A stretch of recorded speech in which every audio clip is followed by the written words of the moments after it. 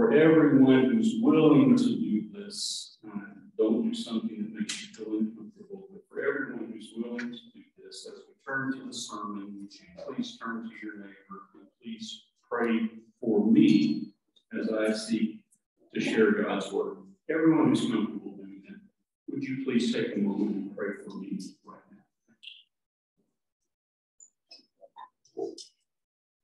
now?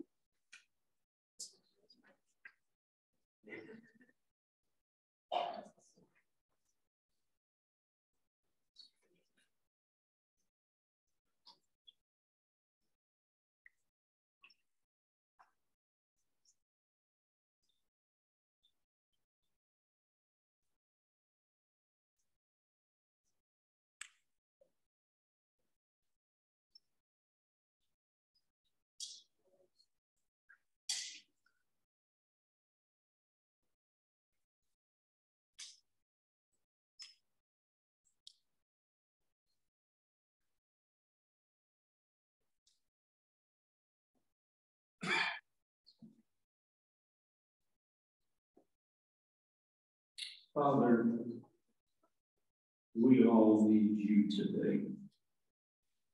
Your word is active and living and has the power to transform our very lives. And Father, we need, we need to hear from you today. You've spoken to us this morning in the beauty of the sunrise You've spoken to us, Father, as we've heard the prayers of others. You've spoken to our hearts, Father, as we've sung your praises. Father, as we look at your word, we pray, Father, that you continue to speak. It's in your Son's name we ask these things.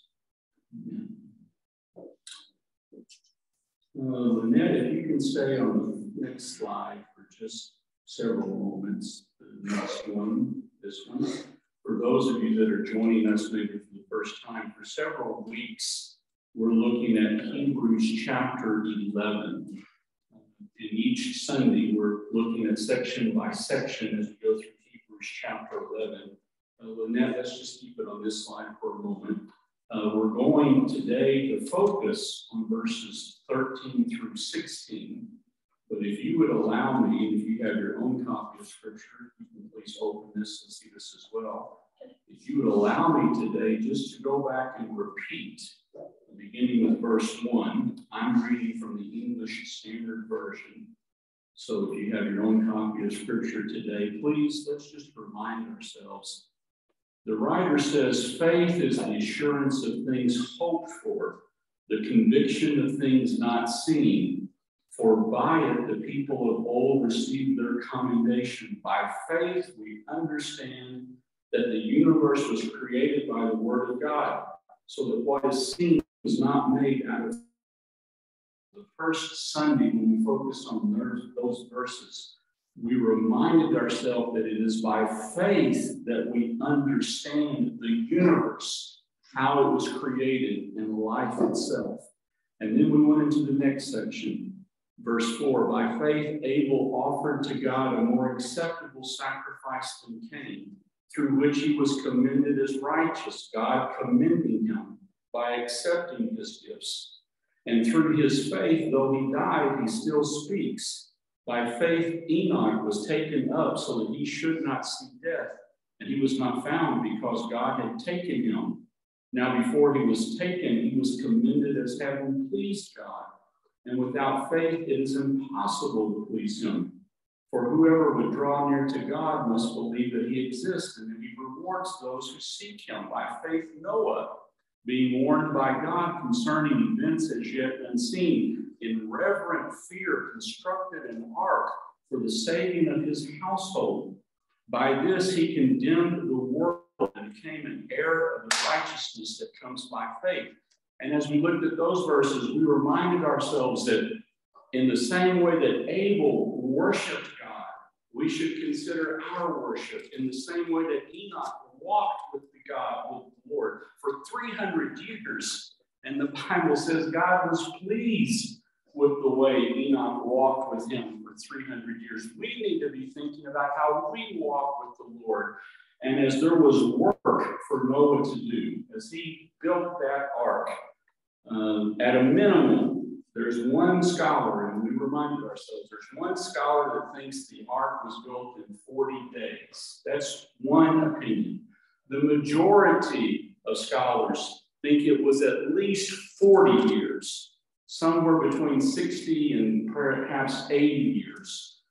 And our work, our life's work, what God has called us to do, whatever that is, if it's in the classroom, or if it's in the corporate headquarters, or if it's in the home, if it's in the neighborhood, my work is my work reflecting my dependence upon God and following his teachings in my very life work. And then last week in verse 8, we looked at by faith, Abraham obeyed when he was called to go out to a place that he was to receive as an inheritance. And he went out not knowing where he was going. By faith, he went to live in the land of promise as in a foreign land, living in tents with Isaac and Jacob, heirs with him of the same promise, for he was looking forward to the city that has foundations, whose designer and builder is God.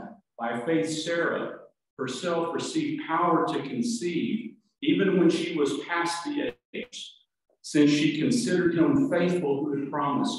Therefore, from one man, and him as good as dead, were born descendants as many as the stars of heaven and as many as the innumerable grains of sand by the seashore. Last week, we reminded ourselves of this simple truth. He obeyed and he went. God might send me across the hallway. God might send me to a different country. God might send me to a different person. He sends us in different directions, but we saw in Abraham and Sarah that by faith they obeyed and they went. Okay, Lynette, thanks for helping. Here's the question today How long? How long?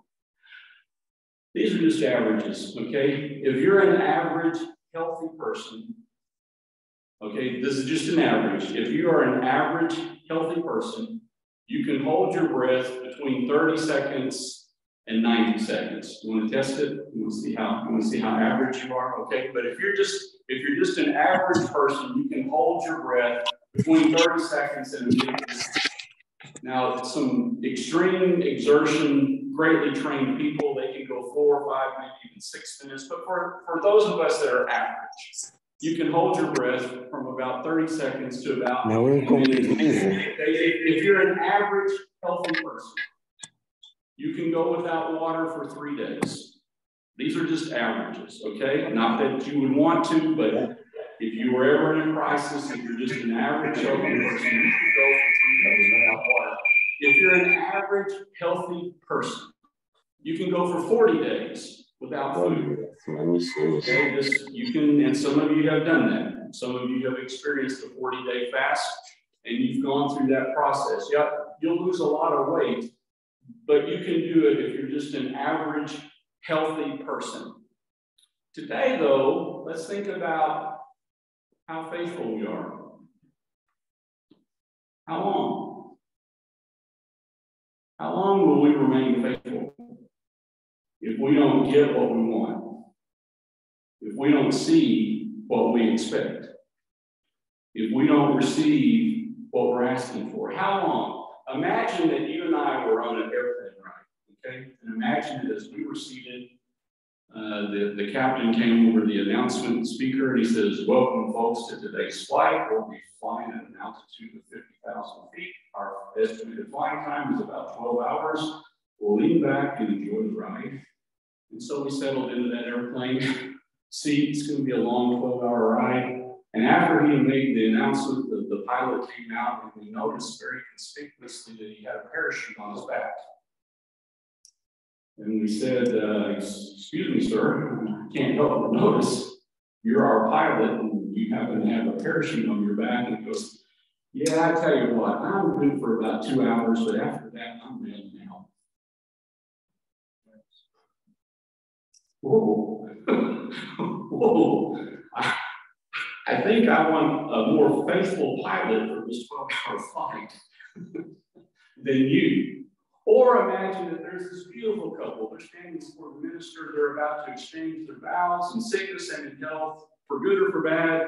And the one turns to the other and says, You know what? I've been thinking about this. I think I can hang with you for that, maybe about three years. You know, we want people to be more faithful than that, don't we? When, when the going gets tough, we, we don't want the pilot bailing out of the airplane. When things are getting hard, this person who said that they're going to stick with us through good and through bad, we, we don't want them disappearing. You, you know, but, but sadly, uh, I know a man. Uh, he was he was put in prison because he became a Christian. And as he was put in prison, his wife divorced him. Now, he, did you hear that? He was put in prison because he became a Christian. And since that was his charge, and since she didn't want to deal with the, the power that was in that country, she divorced him. I, I know another man. Uh, his wife had suffered from a stroke, and uh, she was literally in the hospital recovering from a stroke. And he was living with another woman, and he divorced her while she was in the hospital so that he could then go and marry the person that he was living with. We want more than that, no. When we talk about our practical life, we want, we want more than that. We want there to be more faithfulness than that. So please remember that the way we're looking at this is by section by section. Please remember, last week we talked about Abraham and Sarah. Okay, and next week we're going to talk about Abraham again. So these verses that we're going to read, they're not just in isolation. It's like a continuous story, even though we're dividing it up today. Okay, but now the next, we go to the focus for today's Abraham, Sarah, Isaac, Jacob, those folks. Verse 13 says, These all died in faith.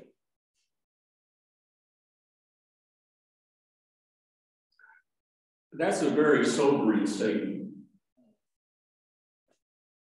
But at a minimum,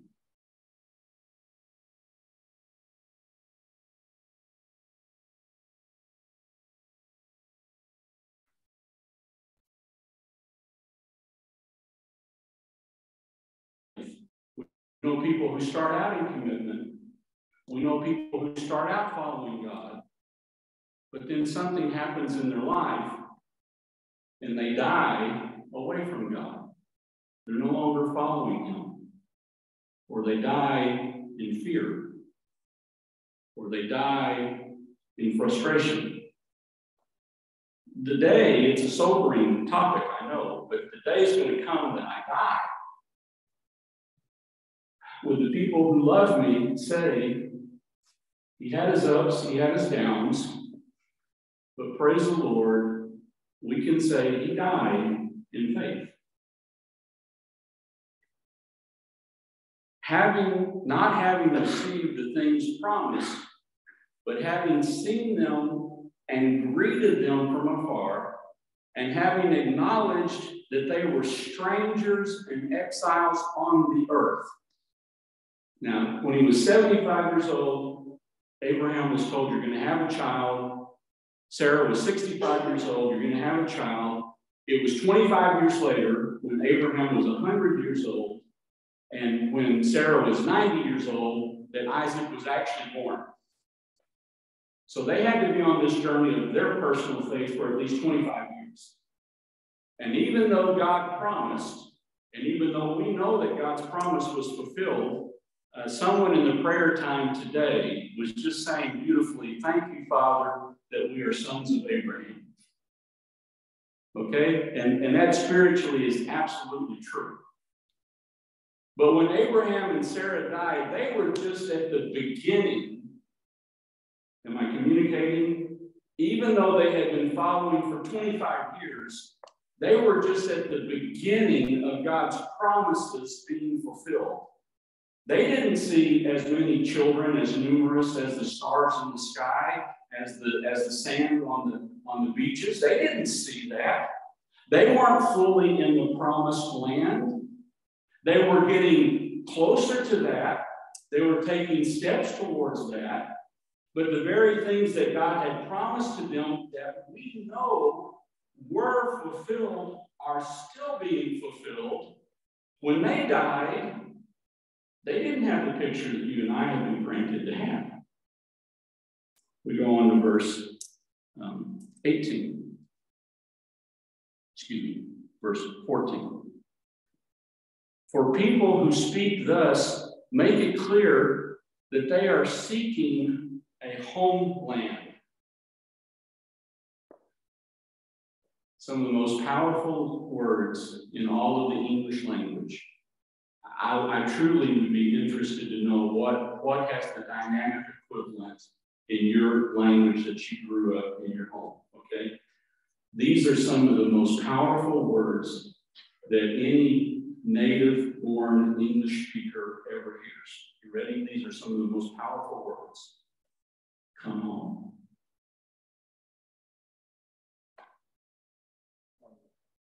That goes to a native speaker heart in English like no other phrase.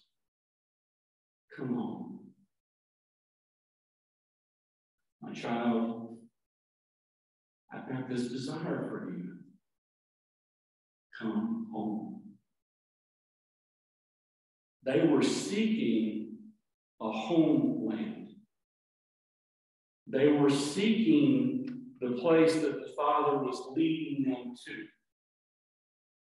We continue in verse 15. If they had been thinking of that land from which they had gone out, they would have had opportunity to return. Again, we mentioned last week in Genesis chapter 11, they had lived in this place called Haran.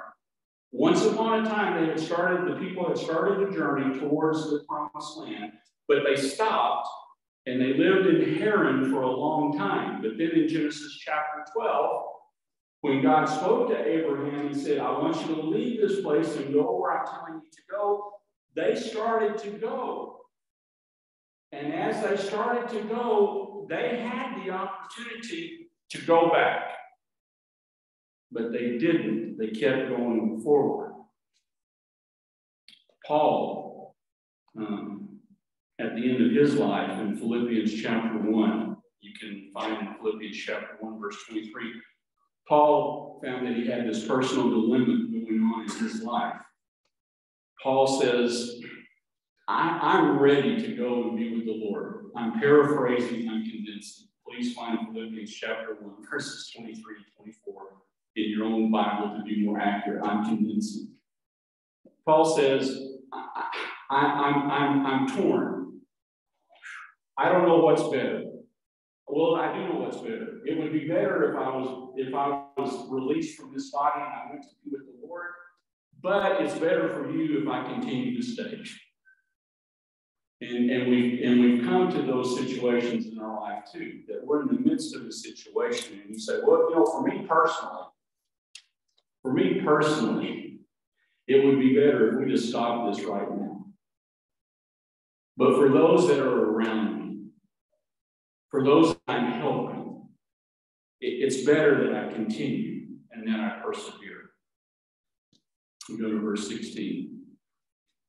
But as it is, they desire a better country. That is a heavenly one. Staying in Philippians chapter 3, verses 13 through 14. We all please Check this out, make sure that it's accurate. Philippians chapter 3, verses 13 14. Again, as Paul continues on his journey of faith, he says, forgetting what is behind, I press on. my uh, my sister happens to still live in the house where I grew up. That's unusual. Um, I, I, most of us, our childhood home is nobody in our family is still living there. But, but if I want to, I can literally still go back to America and I can still go to my childhood home. And, and when I show up, I mean this with humor, so please smile. And when I show up, there will always be something for me to do. Eddie the handyman is back. There will be hinges that are broken. There will be a faucet that needs a new washer. There will be uh, bushes that need to be trimmed. So if I ever go home, okay, uh, there's going to be work for me to do. And I can keep myself busy whenever I go home, and I can have all the great memories. But you know where I'm going with this. But in John chapter 14, Jesus said, I'm going away, and I'm preparing a place for you. And if I go away and I prepare that place for you, I'm going to come back and take you. So no matter how good my childhood home was and is, and it was a good childhood home, and it's still a good home where my sister lives. That, that's not the ultimate country that God's calling me to. That's, that's not the ultimate city. In Revelation, at the end of Revelation, John has this vision and saw a new heaven and a new earth and a new Jerusalem that was coming down. And the glory of God keeps that place illuminated so that there's not even the need for the sun moon and stars. I'm going to a new city. I'm going to a new home. Now, now, maybe you've had the same experience. Stick with me. Whenever I do go back to my home country, okay, there is a certain stretch of the highway that as I'm driving down that stretch of the highway, about uh, three, help with the kilometers, kilometers, about five kilometers in the distance, there's this ridge that I recognize. Because just beyond that ridge is my home. And I can see that ridge from about five kilometers away. And I know that pretty soon I'm going to be home. There was a time in my life for 20 years that I flew along. And there was a holding pattern that I was in countless times in the airplane. And as I was in that holding pattern for 20 years of my life, that was a bad transition. You know what I'm trying to say.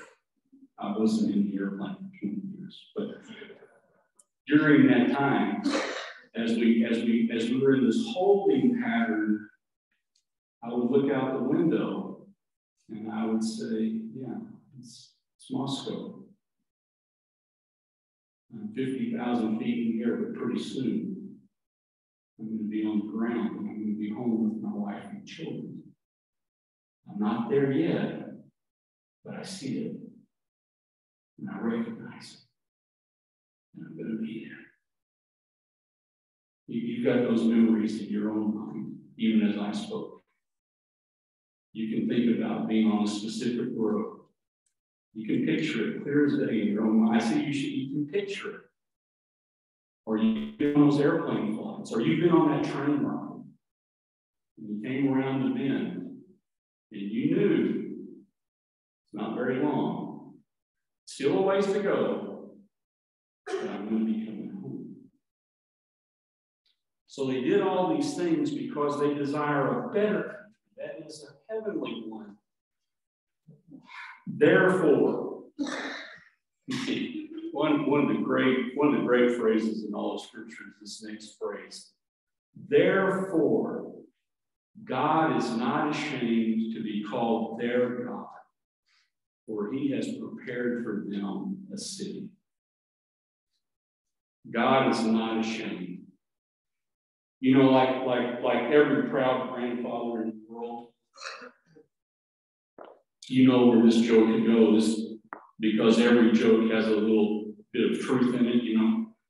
As a grandfather of nine of nine grandkids, you, you know what happens. Hey, do you want to see a picture of my grandkids?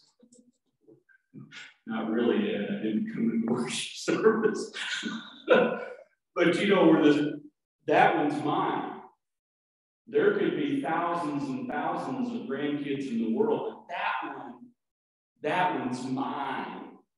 And I'm not ashamed to call that one mine. And God says there are thousands and thousands of people, but these people of faith, Abraham and Sarah and Isaac and Jacob and their descendants, I'm not ashamed. Those are mine. They, they belong to me. And they were faithful to me, even when they didn't see the complete fulfillment of what I promised to them. So the next slide, just a, just a few bullet points on that. By faith, they saw there was seeing in their lives with the eyes of faith. There was seeking in their lives as they went forward. They were not stopping in their walk, their journey of faith. And so the obvious question comes to me What about me? Will I continue to see with the eyes of faith? Will I continue to seek with the heart of faith?